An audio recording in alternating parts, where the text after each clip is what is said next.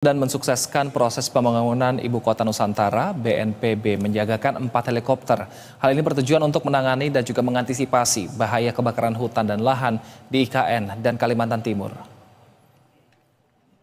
Badan Nasional Penanggulangan Bencana menyiagakan empat helikopter untuk mengantisipasi bahaya kebakaran hutan dan lahan di Provinsi Kalimantan Timur.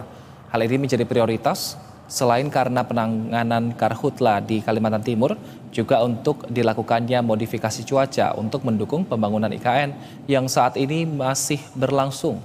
Kepala BNPB menyebut dua armada helikopter yang akan digunakan untuk pemantauan, sedangkan dua lainnya untuk memanfaatkan dikhususkan Satuan Tugas Udara untuk melakukan pengeboman air atau waterbombing. Dengan otoritas ibu kota Nusantara.